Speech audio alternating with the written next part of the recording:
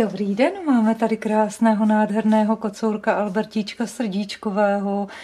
Přišel do útulku zubožený, měl takovou velkou ránu v oblasti krku, hnisavou, byl tam akces obrovský, měl zvýšené ledvinové hodnoty, tělíčko vyhublé. Takový proces vlastně, který on tam měl v tom tělíčku abcesovitého naražení, tak to se může stát v krátkém čase.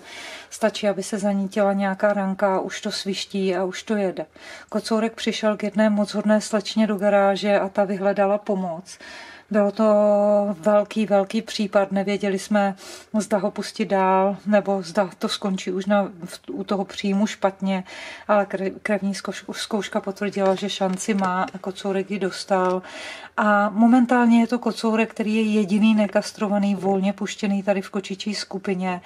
Chtělo by to zravidovat zoubky, ale on má stále takový hraniční nebo přestouplý ledvinový hodnoty a špatně tvoří červené krvinky, takže není kam se hnát.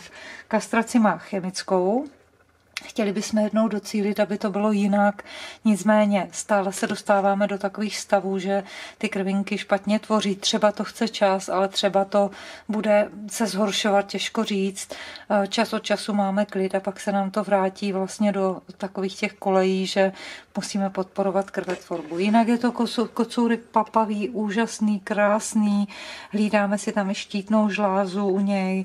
Eh, zatím to není k léčbě, ale měli jsme tam takové hodnotky, které které eh, vyžadují vlastně nějakým způsobem to, abychom si dali pozor, eh, jak to bude do budoucna.